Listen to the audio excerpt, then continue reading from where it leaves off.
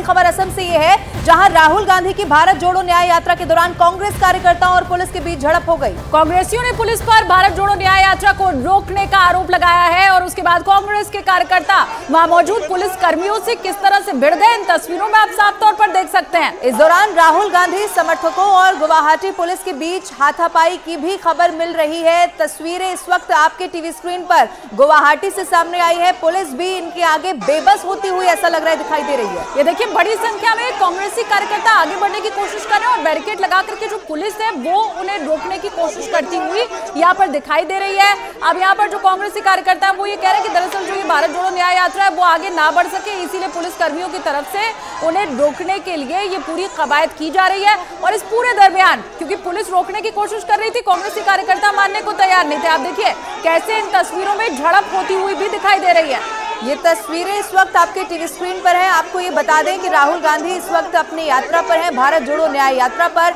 और इसी दौरान गुवाहाटी से खतरनाक तस्वीरें सामने आई हैं। आपको दिखाई देगा कि पुलिस लगातार जो जो समर्थक है, कार्यकर्ता है, उन्हें रोकने की कोशिश कर रही है। लेकिन ये समर्थक, ये कार्यकर्ता पुलिस की एक नहीं सुन रहे, और एक बार तो इस तस्वीर में ये भी दिखाई दे रहा है कि जो बैरिकेड लगाने की कोशिश की जा रही है, उन पर भी चढ़कर पुलिस पर ये हमलावर होते हुए दिखाई दे रहे हैं।